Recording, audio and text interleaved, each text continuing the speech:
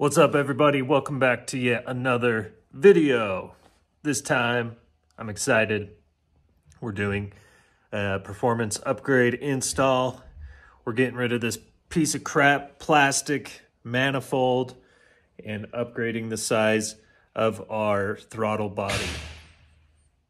Jesus, the neighbors are wild.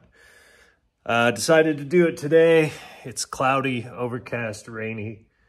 It's like 50 degrees. The weather sucks right now. I am so not ready for winter. Anyway, so here's what we're doing. Um, went up to Tucker Speed last week, picked up this beautiful HPI throttle body and manifold. I mean, look at how pristine that has been polished and ported out. So this is the 58 millimeter uh, throttle body. The reason I didn't go with like a 62 or even the 68 is because I'm only running a bored out 114. So I don't need anything crazy. You know, I don't need a crazy amount of air. It's three millimeters over stock, but we're not dealing with the piece of crap plastic manifold. We have this beautiful machined billet ported. I mean, the throttle body is billet aluminum, and then we have our ported and polished manifold. So I'll show you guys how to tear this down, get this new one put in, and we'll go.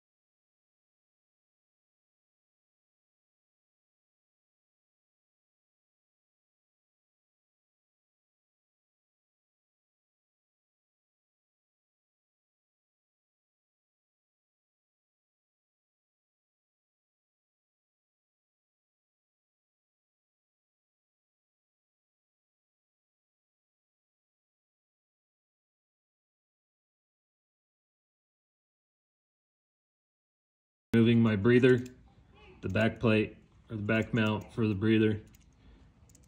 Uh, I'm not gonna film that because you should know by now how to remove your own breather. I'm gonna be taking the seat off, lifting the tank up just to give me more room to work with right in this area so we can slide the old manifold out and pop the new one in. And then I have some extended reach ball head hex sockets to get those weird angle bolts for the manifold, for the flanges. Also, while my tank's lifted, I'm gonna utilize this time to clean the top of my rocker box covers because those hardly ever, I'm able to hardly ever get the space to get up in there and clean them. So I'm gonna, before we're done and before we put the tank back down, I'm gonna clean the top of the rocker boxes. Let me get this stuff unplugged it's pretty self-explanatory. Just follow your lines, you know, unplug everything, um, and then we'll pull this pull this out and get get everything loose and pull it out. All right, so as you can see, we have these side by side here. We have the HPI manifold on the right here compared to the stock 55 millimeter on the left, which is just terrible. I mean, it's so restricted compared to this one on the right port polished, really nice machining quality from HPI. Got a lot wider openings compared to this one. Just plastic garbage. The openings on the inside, the neck, super restricted.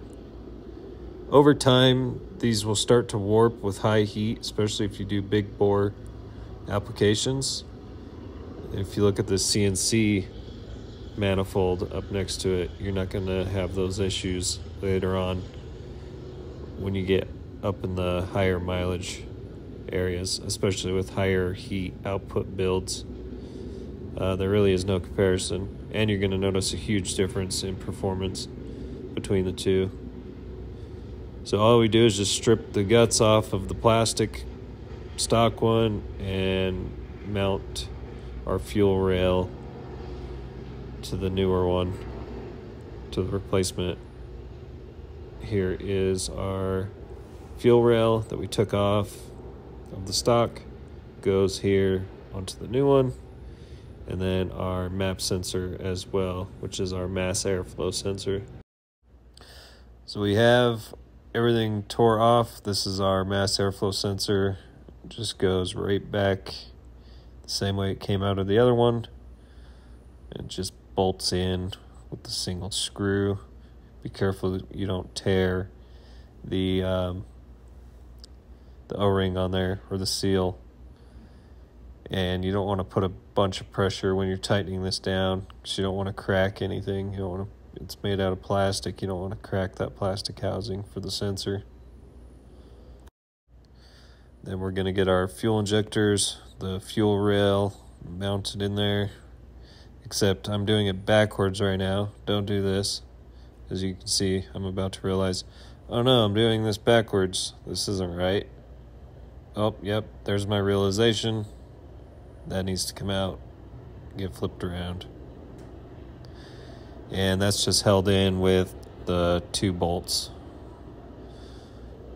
So you want to just seat that in to where it's in there nice and flush. Make sure those seals are in there and those screw holes are lined up with the manifold underneath. Just like so. And then we will put our two bolts in on the fuel rail to secure that into the new manifold. And this is how it should look when it's done. The fuel injectors should be visible and sitting in there flush.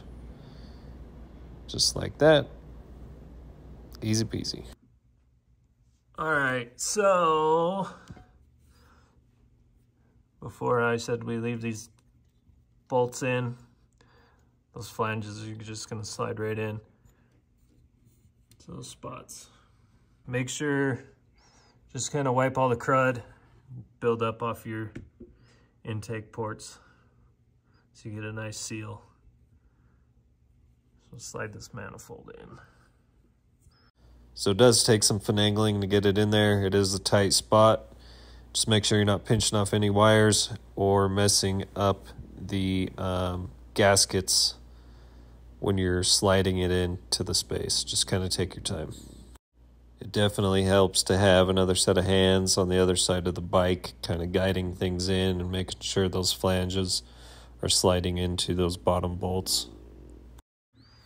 Okay, so like me and Daniel we were talking a minute ago off camera, I'm gonna, you don't want to tighten this down yet until we have the throttle body back on and then put the plate, the back plate for your breather on and make sure that's sitting flush with your throttle body.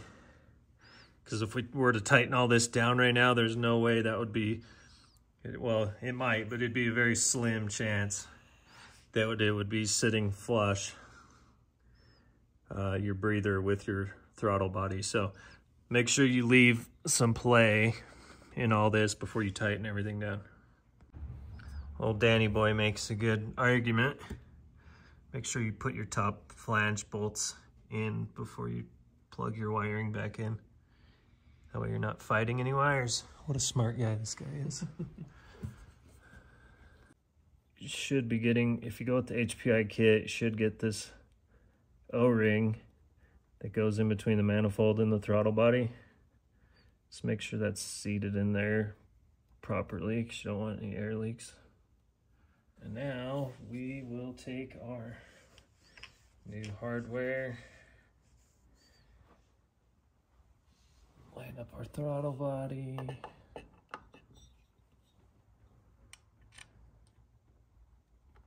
these bolts in.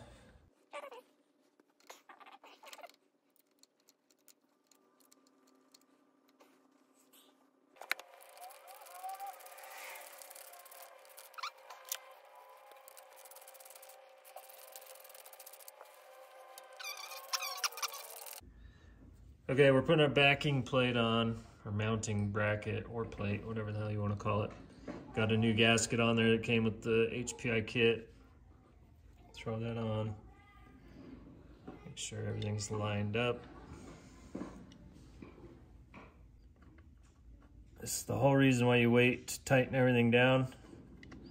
So you want to make sure This is gonna be flush with your throttle body.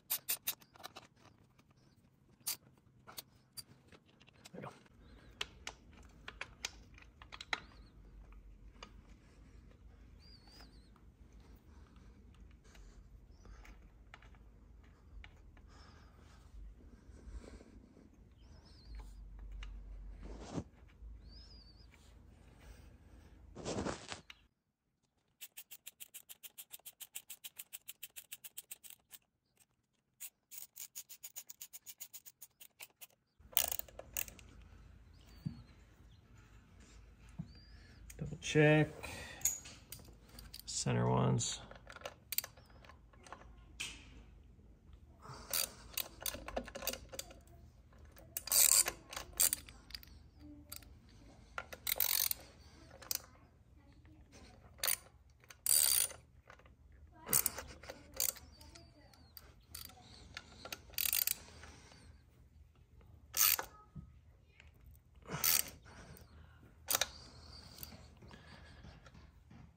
Solid.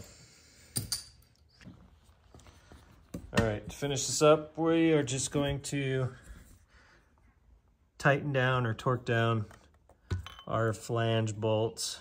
There's four of them, one on top of each side, then on the other side of the bike on the bottom. I don't know if there's a torque spec, but I'm just gonna tighten it until it's tight. Okay, it's metal against metal. Can only go so tight. And then we'll get our horn put back on, put the tank back on, put our fuel line back in the tank, and that'll wrap it up.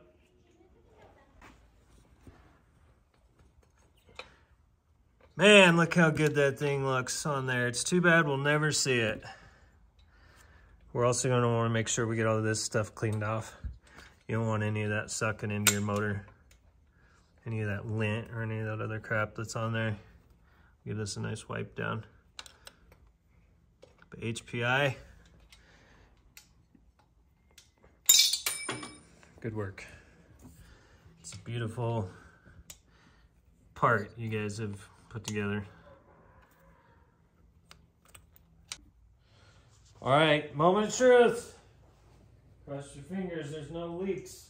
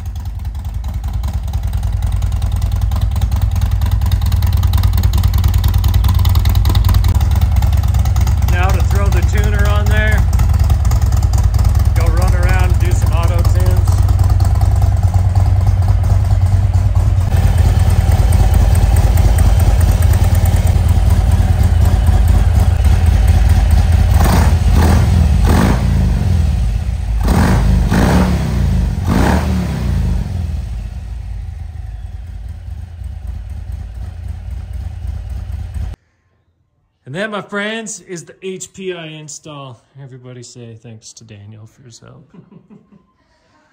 He's a trader. He's selling his Road Glide. Let's buy it. Hit him up. After he talked to me in for three years to buy one. And four months after I do, he puts his up for sale. If you want to buy his, 30 grand. It's probably a $50,000 bike. Once you factor in the cost of a bike, parts, labor, all that jazz. What do you got in it? Uh, S&S 128, 128, Woods 408. Woods 408 cam, S&S oil pump and plate. Uh, you've had the bottom flywheel worked on. Is it Black Horse? Everything. Dark Yeah, Horse? Dark Horse. Dark Horse flywheel. Darcom, Rekluse clutch, Rekluse basket, Baker primary adjuster. She built Tells- on front and rear. All right, guys, thanks for watching. Hopefully this was of some help. All right, guys, so there you go. HPI throttle body installed. Got the old piece of junk plastic one out. Shout out to Tucker Speed. Thank you for um, having that 58 mil available to me. I mean, we've got to support our local shops. Uh, but still, shout out to them for having something so high demand available to me. I really appreciate that. But yeah, if you guys need any parts, uh, hit up Tucker Speed. They're going to have it. And if they don't, give them a call. They can order it for you. I guarantee it. Shout out to them big time for coming through with the HPI 58 millimeter throttle body and manifold for me. Uh, I saw they had one available. I phoned them. I'm like, yo, can you put one aside or can you put it aside and I'll be up there to pick it up? They're like, yeah, bro, no problem. Come up and grab it whenever.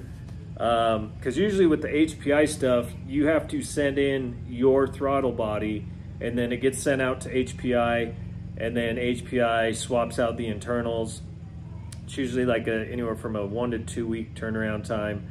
So you got to wait for it uh, for them to swap your internals out and then send you back the um, the machined version.